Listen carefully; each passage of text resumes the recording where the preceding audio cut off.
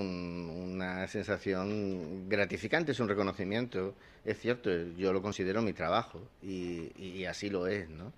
Eh, pero bueno, cuando a uno pues lo, proponen para, una, para un reconocimiento, pues uno se siente agradecido a la propuesta, en este caso del Centro de Historia y Cultura Militar y naturalmente del coronel Carlos Busto, que creo que es de quien ha partido la iniciativa.